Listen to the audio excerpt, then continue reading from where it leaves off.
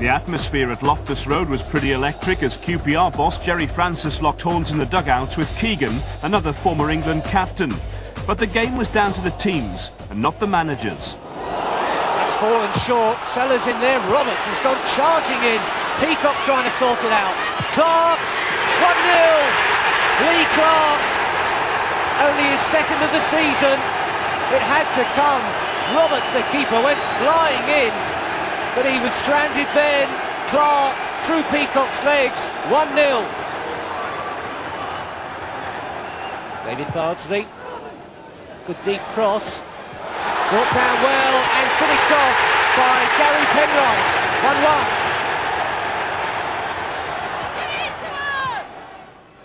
Robinson, Cole, oh, good turn, good turn again, Roberts did well. Great work by Cole.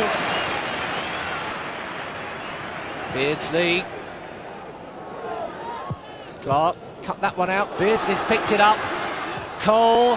Beardsley. That's a magnificent goal from Peter Beardsley. How can you defend against that? Cole lifted it up. Beardsley stretched first time. What a finish, that's world class, look at it. Admiration from Keegan, Beardsley, top draw,